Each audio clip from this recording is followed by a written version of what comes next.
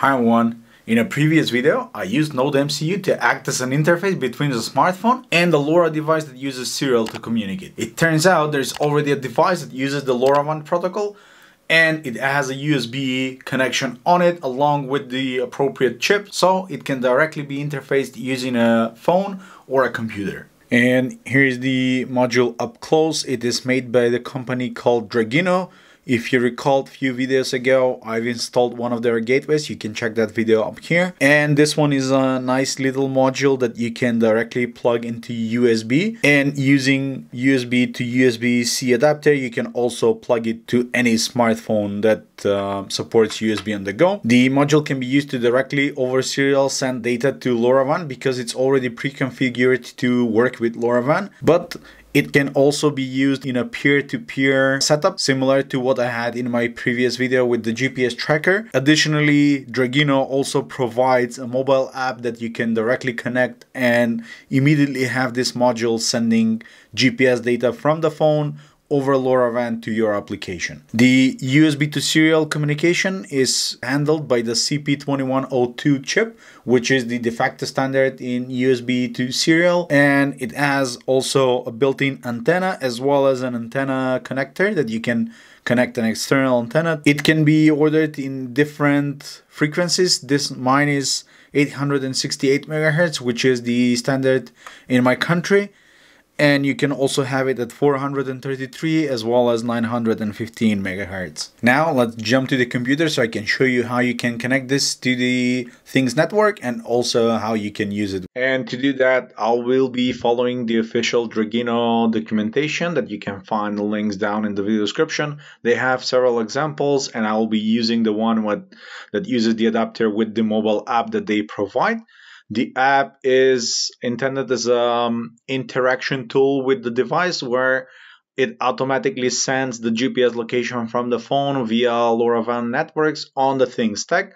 And for that, we'll need to register the device with the Things Stack. And to do that, we need an application. The application is like um, holding place for all of your devices of a single purpose. This is just a test device and I'll register it on the test application that I created for it.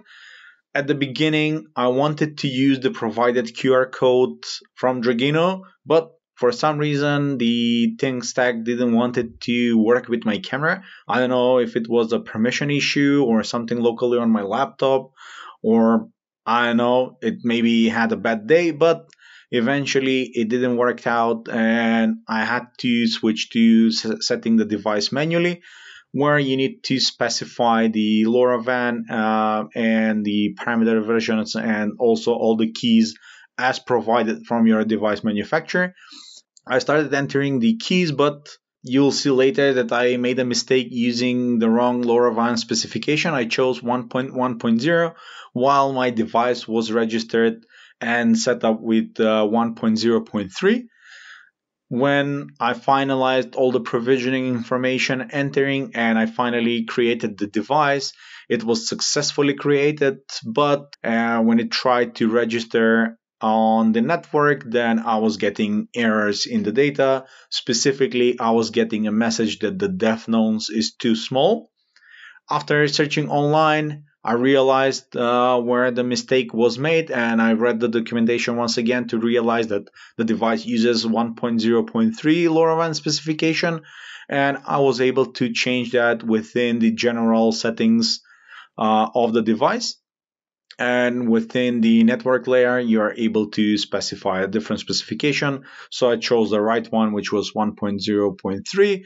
And after restarting the device and resetting everything, it immediately got connected and now it successfully joined the network and I was able to successfully send data from the serial port utility uh, because I had the device connected to my laptop and I was able to successfully get that uh, data within ThingStack. So with everything working, I plugged the device to my phone using the OTG adapter and immediately I started seeing the location data that the application sends out with the LA66 module and that worked as expected. I was not seeing any issues. I was able to see the payload, although I was missing the payload formatter, which I would then later on add to the um, to the end device. So with everything ready, it was now time to set up the Node-RED um, flow that uh, Dragino also provides in their documentation. I'm no expert at Node-RED, so I won't be diving into details on how I did the whole setup.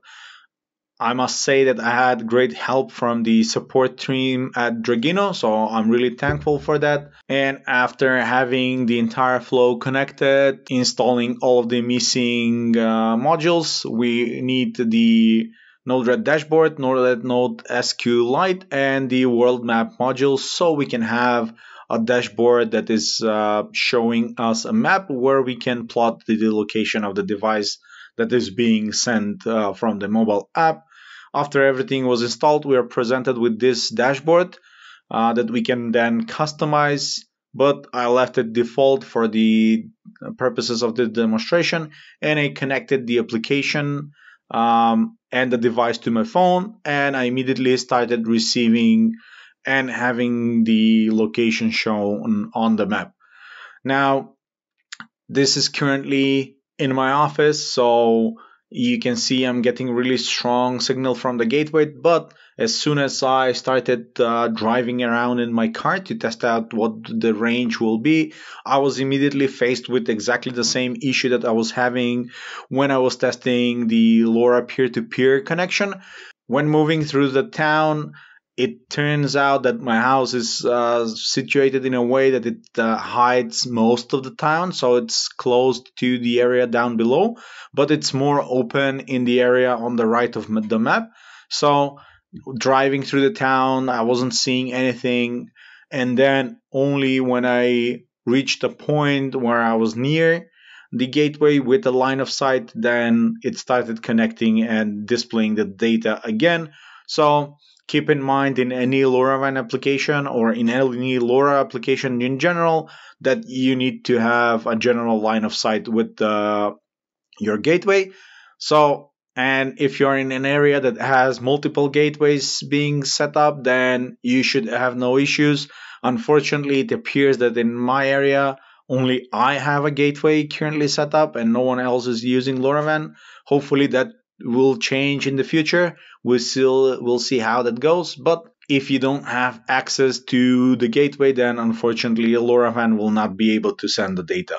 And as you can see on the left, you would get a lot of timeouts and a lot of errors when trying to send the data over the network. Now, when I've reached uh, to an area which again had the line of sight with the gateway, the gateway immediately connected and I was able to once again send my location and I received it in Node-RED but that didn't last very long because once again I continued driving away from the gateway and the connection again broke because I was behind this um, hill, this small hump in the landscape that is covering my house from the rest of the city. At this point, I wasn't really sure if uh, the whole recording setup works because I had the screen recorded unattended on my laptop at home. So when I saw that uh, I'm getting the position and everything is showing up uh, within Node-RED, then I went out to drive around the town again. But this time, I also um, went across the town on another hill. And you can see here that I was immediately able to establish a connection, even though the gateway is like four walls um, in the direction of where I was. But as soon as I started going downhill from the position that has line of sight with my house, I again lost uh, connection and you can see now on the left it will start to have errors uh, on the console and not deliver any any packages so I have to point out that you will need to have either multiple gateways set up in the area or you need to be able to have line of sight or be relatively close to where your gateway is. So as you can see now, once again, when I got close to uh, to the gateway at about uh, 800 meters, I was once again being able to transmit the data. And this is um, like uh, just a confirmation of the information that I already know. Hopefully, I should find a better placement for the gateway at my house. Currently, it's sitting next to me in my office, and I plan to move it on the attic of the house. That should give the gateway a bit of height, and also it should clear up some of the restrictions uh, that it currently has from the walls around my office and the house.